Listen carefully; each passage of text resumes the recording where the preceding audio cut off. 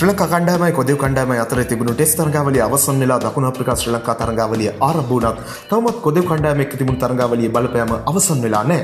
කොද කණ්ඩායමත් ශ්‍ර ලංකා කණ්ඩායමත් අතර තිබුණු දෙවන් ටෙස් තරගයේ පන්දු පල්දු කිරීමේ චෝදනාවක් එක්ක ශ්‍ර ලංකා කණ්ඩායම නියමිත වෙලාවට පිටියට යොමු කරපු නැති වරදට ශ්‍ර ලංකාවට දඬුවම් ලැබෙන්නේ දකුණු අප්‍රිකා තරගාවලියේදී. මේ වරදට දඬුවම් තීරණය කරන්නේ ICC දින නියම කරගෙන තිබුණේ දකුණු අප්‍රිකා ශ්‍ර ලංකා ටෙස් තරගය ආරම්භ වෙන්න දවස් දෙකකට කලින්.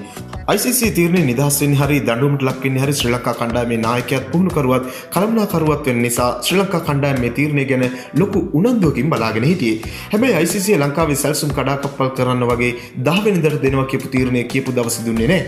ICCන් චෝදනාවට ලක්ුණු චන්දිමාල් හතුරු සිංහ ගුරු සිංහ ගැන ICC කරපු පරීක්ෂණවලදී චෝදනාවට ලක්ුණු තුන් දෙනාම තමන්ගේ වරද පිළි අරගෙන දකුණු අප්‍රිකාව එක්ක තරගාවලියේ ටෙස්ට් තරග දෙකකට සම්බන්ධ නොවී ඉන්න තීරණය කළා.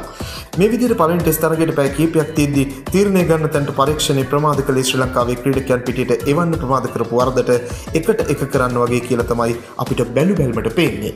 මෙවැනි වීඩියෝ දිනපතා බලන්න අපත් සමග එකතු වන්න. ඔබ තවමත් අපේ channel එක subscribe කරලා නැත්නම් දැන් අපි subscribe කරන්නත් ක්‍රිකට් වලට කැමති ඔබේ යාළුවෙකුට බලන්න මේ වීඩියෝ එක share කරන්නත් අමතක කරන්න එපා. ක්‍රිකට් පිටියේ නැවුම් දෙපිරි තවත් අලුත් වීඩියෝකින් හමු වෙමු. ක්‍රිකට් ලංකාවෙතින් ඔබට සුබ දවසක්.